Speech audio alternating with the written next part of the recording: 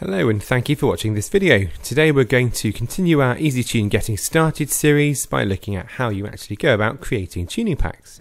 So we know already that uh, tuning packs are at the heart of everything that we do with EasyTune. These CSV files, and they're worked between the SCOM administrator and the domain experts. They can be pulled from our community store on GitHub. Also, you can contribute to that as well. It's contributed to by our community of experts and EasyTune consumes them and sets their contents up as overrides in SCOM in sensibly named management packs. Uh, but we haven't actually talked about creating these tuning packs. So these, do you start with a blank CSV file and, and just go type, or is there tooling? How, uh, you know, what are the approaches for capturing a tuning pack? So there are sort of two main ways of doing this uh, with EasyTune. The first way is from a management pack uh, imported into SCOM, so the MPs themselves are made up of various bits and pieces, so your monitors, rules and discoveries and whatnot. These are essentially um, the different types of workflow. These workflows contain metadata essentially, so things like the workflow name, uh, the type of workflow, so is it a, a monitor, rule, or discovery, uh, a description, they have default values, is this discovery enabled or disabled, is this monitor, what's this monitor's threshold, that kind of thing. Um, and this data is what is captured to create tuning packs when you're creating a tuning pack from a management pack. And there's tooling in EasyTune to do this that I'll show you in a minute. The other way that you can do this is by capturing existing tuning from your SCOM management group. So in a typical SCOM management group, you might have a bunch of uh, groups set up uh, to contain objects. Let's say these are Windows servers distributed between uh, groups. You might have some objects that span groups as well. And uh, not, not even mentioning sort of tuning here, if we now layer tuning on top of this, we might have global tuning here. So this is tuning that affects all Windows servers unless overridden at another level. We might have groups that are tuned with specific overrides, and we might have objects that are tuned um, as well. Uh, so with EasyTune uh, Enterprise, this is a feature of Enterprise. Uh, you can capture the tuning for any one of these bits or bits and pieces. So let's say we want to capture object D's tuning, we would capture it uh, with EasyTune. It's exported to a tuning pack, and you'd see the result of, of uh, any tuning affecting object D. Equally, if you were to do this for object I, object I doesn't have any direct tuning, but it's in group 4, which does have tuning and the effect, obviously, of the global tuning. Um, so you'd see that captured. You can also capture tuning directly from a group. So if we just wanted to capture group 4's tuning, we could do that. Um, and those are essentially the ways of creating tuning packs. So let's see it in action. So here we are in EasyTune again. Uh, we we have EasyTune Enterprise licensed here. Um, so, but the first feature I'm going to show you uh, of creating a tuning pack from a management pack is is in free. Um, so if we go create tuning pack here, uh, you are asked to pick the management pack or management packs um, that you want to capture in a tuning pack. So you can multi-select as you see. Uh, equally, you can select a single one. I'm going to pick these BizTalk ones uh, to create a tuning pack from. So we're going to select those and hit next. We're going to give our tuning pack a name. And we're going to say where this should uh, live. I'm going to stick it into our custom store. So here we are. Here is the uh, the opened tuning pack that was captured. So you have in here the management packs, um, that are contained within the tuning pack and then the workflows themselves. So for those we have the workflow ID, uh, the workflow type, is it a discovery, is it a rule, etc. The display name, uh, the description, the override parameter name, which is is this expecting an enabled or disabled kind of thing. Uh, is this a timeout? How is this value used, basically? We have our override parameter type, which basically says, is this workflow, uh, when you override it, is it expecting a boolean, an integer, a string? And then we have the default values of this management pack. So all of that is captured for you. You also have your custom column, which you can uh, add whatever tuning you want to, as you've probably seen in, in other videos, just by typing in the fields. Let's put a few in here, just to illustrate the point. Um, and that is the first way of capturing tuning packs. Let's save this. So the next thing uh, I'm going to show you is create a tuning pack by capturing the effective overrides from a specific object, um, which is one of the use cases in my slides from earlier.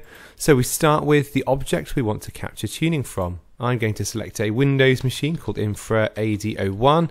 It is an Active Directory domain controller. We're going to select the Windows Server object here. And you can see now the list of management packs um, that are in effect for the selected object. If you don't want to capture tuning from all of them, you would simply remove the ones you don't care about here. Equally, you can delete the rows from the CSV file. Um, you give the tuning pack a name. So let's just do that. And you say where you want the thing to be stored and you hit create. So here we go, this is our tuning pack now it's opened. You can see all the same bits and pieces as with any other tuning pack, uh, but there's some additional things in here. Um, so we have a new couple of columns here. We have override notes in column J and override source in column K.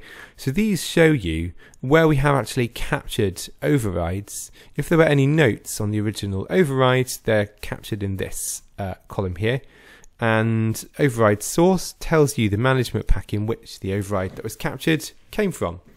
Um, so the other thing you'll see is that these fields aren't filled in for some of our, our workflows. We capture all of the workflows from the management packs that have some effect on the specific objects. So if you wanted to add additional tuning, you could do that just by, by adding more tuning to the CSV file.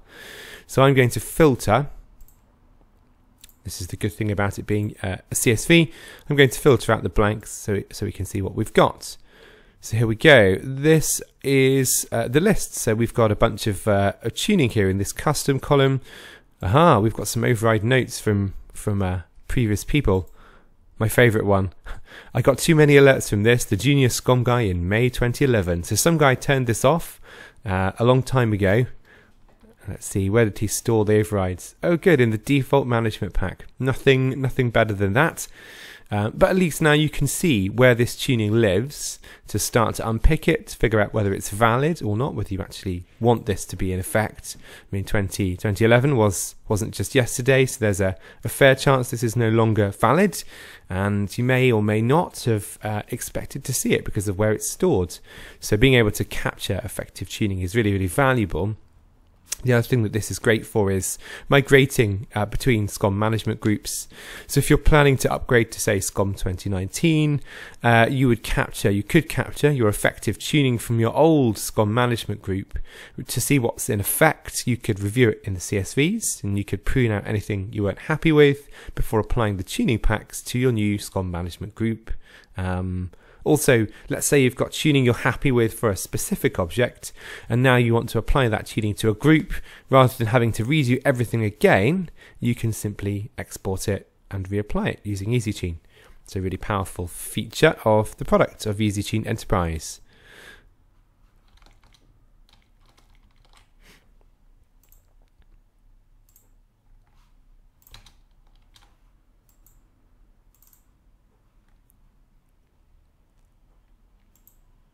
Okay, so next we're going to capture tuning from a group that has tuning applied to it. Uh, same idea as with a specific object, except we pick a group this time. My group is cleverly called group 2. Here it is. And uh, we hit next. We see the list of management packs that have some uh, effect on this group. There are three. And hit next, we're asked for a tuning pack name and where you want it to be stored. Okay, here we go. So this is uh, uh, our Group 2 tuning pack, and much like with the uh, tuning pack for the specific object, you've got all of the workflows that, that can have some effect uh, over the group uh, based on what's currently what, what uh, monitoring is in place, and you can see the custom tuning that we've captured. Now, if I just filter on this column, filter out the blanks, you get a feel for how much there is here that we've captured. Again, you've got those uh, columns J and K, the override notes and the override source columns, so you can see where this tuning is coming from. This all looks sensibly named, which is, is good. There's no oddities in here, um, but there we are. We have captured that tuning. 166 rows of overrides. Um, so, uh, as with any other tuning pack, you can uh, change the scope of this tuning or use it uh, for SCOM management group migrations, etc. Finally, we have the ability to create a tuning pack from a class. So this is slightly different, the way this works. So you start by selecting a class. I'm going to pick SQL Server 2016 database, and let's see what we get. You're then shown a list of management packs that uh, are in effect. So you may get some oddities here you're not expecting, where management packs have effect over the class you're capturing you're capturing tuning from. Um, you're asked for a tuning pack name, and we'll put it in our custom store. Here we go. So now we've got all of the management packs and workflows that have effects on the class. Uh, we don't capture the uh, um, overrides themselves at the class level.